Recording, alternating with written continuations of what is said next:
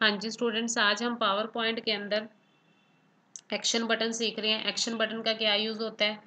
जैसे आप कहीं सेमिनार आपका प्रेजेंटेशन दे रहे हो आप, आपने स्लाइड्स बनाई हुई हैं और यहाँ पे आपने क्या है, वहाँ पे एक्शन मतलब क्या है पेजेस को आपस में लिंक किया हुआ है, जैसे हमने हाइपर लिंकिंग में किया था। और पेजेस को जब आपने लिंक किया हुआ है तो मेरे को वापस फिर होम पेज पे मतलब जो मेरा फ़र्स्ट पेज था, वहीं पे जाना है। तो उसके लिए हम यहाँ पे यूज़ करते हैं एक्शन बटन्स अगर आप किसी स्लाइड पे डायरेक्टली जंप करना चाहते हो फ़र्स्ट स्लाइड पे लास्ट स्लाइड पे नेक्स्ट या प्रीवियस तो आप इस तरीके से क्या कर सकते हो, किसी भी स्लाइड पे जंप कर सकते हो। यहाँ पे आपको जो एक्शन बटन है शेप्स इंसर्ट के अंदर शेप शेप के अंदर आपको ये एक्शन बटन मिलेंगे। यहाँ पे हमारा प्रीवियस के लिए होता है, ये नेक्स्ट के लिए होता है। ये फ़र्स्ट स्लाइड के लिए बटन होता है, ये लास्ट स्लाइड के लिए बटन होता है और ये डायरेक्टली होम पे अगर आपने जंप करना हो, उसके लिए बटन होता है तो इस तरीके से यहाँ पे स्पीकर का है और यहाँ पे एक कस्टम बटन है। मतलब अगर आप अपनी इच्छा के अकॉर्डिंग बटन कोई बनाना चाहते हो तो आप वो भी बना सकते हो। जैसे कि ये मेरी फ़र्स्ट स्लाइड है, मैं यहाँ पे बटन बनाना चाहती हूँ, बिल्कुल लास्ट वाली स्लाइड का। आपको देखोगे, जैसे कि मेरी फ़र्स्ट स्लाइड है, यहाँ पे हम जाएँगे और इसमें हम जाएँगे, ये मेरा किस लिए होता है एक्शन बटन एंड लिखा हुआ है। यहाँ पे हम क्लिक कर देते हैं तो आप यहाँ पे देखोगे, यहाँ पे हमने इस तरीके से बटन ड्रॉ कर लिया। उसके बाद हाइपर लिंक वो पूछ रहा है कि मतलब इस बटन को आप किसके साथ लिंक करना चाहते हो लास्ट स्लाइड के साथ? या फिर आप स्लाइड में जाके भी इनमें से ऑप्शन चूज़ कर सकते हो। जैसे मेरी टेन स्लाइड है, जो थैंक्स वाली है, मैं इसके साथ इसको लिंक करना चाहती हूँ। आप लास्ट भी ऑप्शन चूज़ कर सकते हो, आपकी मर्ज़ी है, या स्लाइड के अंदर आप अपने आप देख के करना चाहते हो तो आप वो भी चीज़ कर सकते हो। उसके बाद हम ओके पे क्लिक कर देंगे। अगर आप साउंड भी चलाना चाहते हो पैलर क्लिक करने पे तो साउंड भी चलेगी। अभी हम कोई साउंड नहीं चला रहे, और उसके बाद हमने ओके पे क्लिक कर दिया। उसके बाद नेक्स्ट है, जैसे कि मेरी ये नेक्स्ट स्लाइड है। या हम चाहते हैं कि जो मेरी लास्ट वाली जो स्लाइड है थैंक्स वाली स्लाइड है, इसके ऊपर हम फ़र्स्ट हमारी जो स्लाइड है उसका लिंक क्रिएट करना चाहते हैं तो हम सेम प्रोसेस शेप पे जाएँगे। शेप पे जाने के बाद आप क्या करोगे, जो हमारा फ़र्स्ट स्लाइड वाला बटन है, हमने वो ले लिया। उसके बाद यहाँ पे हम क्या कर लेंगे, वो बटन ड्रॉ कर लेंगे। अपने आप हमारा एक्शन सेटिंग वाला जो यहाँ पे ऑप्शन है, ये अपने आप ओपन हो जाता है। उसके बाद ये कह रहा है कि आप फ़र्स्ट स्लाइड पे हमने जाना है। यस हमने फ़र्स्ट स्लाइड पे जाना है। उसके बाद हम यहाँ पे क्या करते हैं, ओके क्लिक कर देते हैं। आपके बटन तब वर्क करेंगे जब आप स्लाइड शो रन करोगे एफ़ फाइव करोगे। उसके बाद यहाँ पे जैसे कि हम यहाँ पे आउटपुट डिवाइस ऑफ़ कंप्यूटर है, वैसे तो हम एंटर की प्रेस करके नेक्स्ट स्लाइड पे मूव हो जाते हैं डायरेक्टली अगर आप फिर भी नेक्स्ट या प्रीवियस का बटन लगाना चाहते हो तो आप वो भी लगा सकते हो। यहाँ पे सेम प्रोसेस शेप में जाओगे और उसके बाद यहाँ पे सपोज़ कि मेरे को नेक्स्ट या प्रीवियस कोई भी लगाना है सपोज़ मेरे को प्रीवियस का बटन बनाना है, मैंने यहाँ प्रीवियस का बटन बना लिया।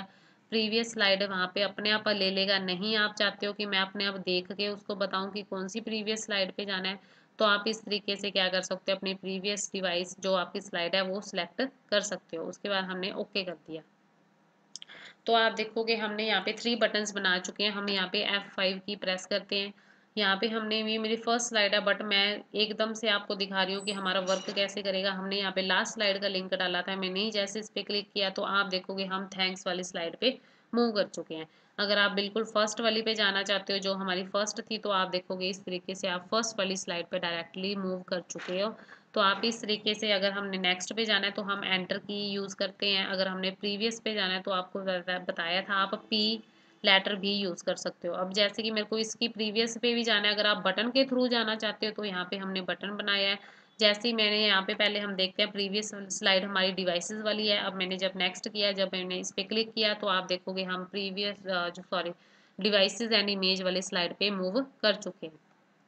तो आप इस तरीके से क्या कर सकते हो? एक्शन बटन की हेल्प से क्या कर सकते हो? कहीं भी आप स्लाइड्स में, आपस में कहीं भी जंप कर सकते हो स्लाइड के। विद इन स्लाइड्स में कहीं भी आप जंप कर सकते हो। कस्टम बटन अगर आपने यहाँ पे जैसे उसके बाद यहाँ पे क्या है, अगर आप सपोज़ की अपनी जो शेप है आपकी, आप इसको चेंज भी कर सकते हो फॉर्मेट में जाके, अगर आपने इसका कलर वगैरह चेंज करना है तो आप देख रहे हो इसका कलर क्या हो रहा है चेंज हो रहा है तो आप यहाँ पे क्या इसकी फॉर्मेटिंग में जाके इसकी फॉर्मेटिंग कर सकते हो। अगर आपने इसका कलर वगैरह चेंज करना है, आप यहाँ पे इसका कलर चेंज कर दोगे। अगर आप यहाँ पे चाहते हो कि जो आपने यहाँ पे सेम प्रोसेस आपने क्या करना है, अगर आप चाहते हो कि आप अगर अपनी शेप की एडिट करना चाहते हो तो चेंज शेप में जाके आप अपनी शेप को क्या कर सकते हो चेंज भी कर सकते हो जैसी आपने करनी है। जैसे ये हमारी बिल्कुल लास्ट स्लाइड पे थी। तो यहाँ पे आप इस तरीके से क्या कर सकते हो, अपनी शेप को एडिट कर सकते हो, जो भी आपने शेप अगर आपने एडिट करनी हो तो। तो आप इस तरीके से क्या कर सकते हो, आपने आप अगर हमने यहाँ पे कुछ और भी मतलब कुछ भी लेना है तो आप इस तरीके से क्या कर सकते हो, अपनी शेप का चेंज कर सकते हो बट इस पर लिंक रहेगा ही जब आप स्लाइड शो रन करोगे। तो आप यहाँ पे कलर्स वगैरह हैं, यहाँ पे भी आपके कलर्स हैं शेप फिल करनी है, कौन से कलर से करनी है इफ़ेक्ट वगैरह डालना है, या आपने उसके ऊपर कुछ लिखना है। तो आप इस तरीके से क्या कर सकते हो, अपनी ब्लिंकिंग सेट कर सकते हो बटन के क्लिक पे। उसके बाद यहाँ पे हमारे पास एक कस्टम बटन भी होता है। यहाँ पे जैसे कि हम सपोज़ कि यहाँ पे हम एक कस्टम बटन बना लेते हैं। कस्टम बटन का क्या यूज़ होता है कि अगर आप बटन की शेप के अलावा मतलब आप कुछ लिखा हुआ चाहते हो कि मैं बटन जो मैं बटन बनाऊँ यहाँ पे, जैसे मैंने बटन बना लिया बटन के ऊपर पहले हम क्या कर लेंगे लिंक सेट कर लेंगे। आप कौन सी स्लाइड का इसके ऊपर लिंक लगाना चाहते हो? जैसे कि हम इसको फ़र्स्ट स्लाइड का लिंक लगाना चाहते हैं, यहाँ पे हमने फ़र्स्ट स्लाइड का लिंक लगाना है, उसके बाद हम ओके पे क्लिक कर देंगे। अगर आप जैसे कि मैंने ये बटन तो बना लिया बट अगर जैसे कि आप चाहते हो कि मेरे को यहाँ पे सिम्बल्स आ रहे थे पहले, हम वहाँ पे अब सिम्बल नहीं चाह रहे, मैं यहाँ पे क्या चाह रही हूँ कि अपने आप अपने हाथ से कुछ यहाँ लिखूँ।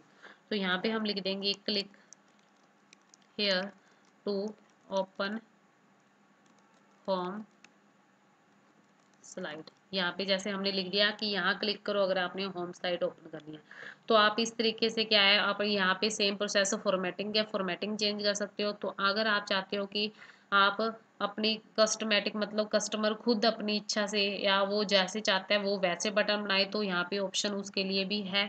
जैसे ही हमने F5 किया, हमारी फ़र्स्ट सेकंड थर्ड हमारी स्लाइड्स मूव हो रही हैं। उसके बाद जैसे ही हम इस पर क्लिक करेंगे तो आप देखोगे कि हम होम स्लाइड पे मूव कर चुके हैं। तो ये हमारा कस्टम बटन था। तो आप इस तरीके से क्या कर सकते हो? एक्शन बटन की हेल्प से अपने जो स्लाइड्स हैं, उनके अंदर क्या कर सकते हो? जंप कर सकते हो मूव कर सकते हो। Okay students